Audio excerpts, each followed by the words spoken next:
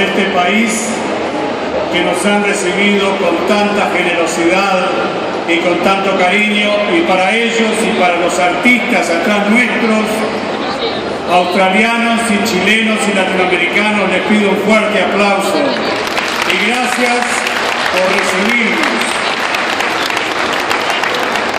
Quiero reconocer, por supuesto, a Miguel y a todo el equipo de decenas o de centenares casi de voluntarios que permiten que celebremos estas extraordinarias fiestas año tras año tras año. Gracias Miguel, gracias a los voluntarios, gracias a todos los artistas que ayudan para que esto se pueda realizar.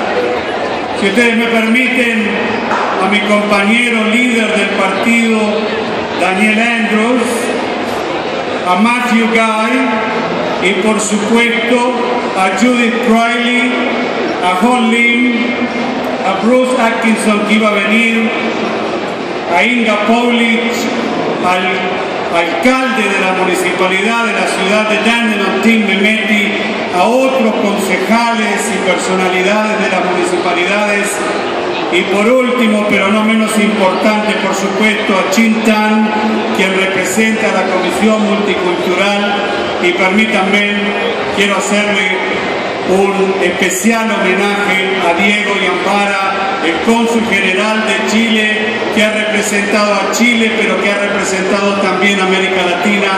Gracias Diego, gracias Ampara. Por favor, para ellos un reconocimiento y un saludo. Prometí a Miguel que iba a ser breve. Y por supuesto, ustedes saben que nosotros decimos la verdad. Pero quiero decir esto.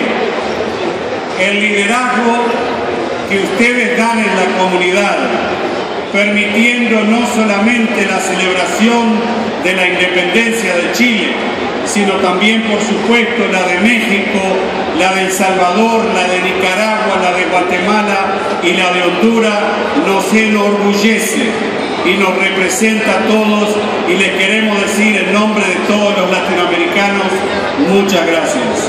Gracias por ese liderazgo, gracias por ser grandes y no nos debe sorprender porque Chile es grande y tiene un gran corazón. Concluyo diciendo que la comunidad chilena está muy bien representada en su pabellón nacional. Esa estrella que representa el honor y el progreso, ese azul que representa el cielo y el Pacífico, ese blanco que representa la nieve de los Andes y por supuesto el rojo que representa la sangre de los caídos que entregaron la independencia a Chile. ¡Viva Chile! ¡Viva Chile! Y viva la unidad latinoamericana. Muchas gracias. Muchísimas gracias.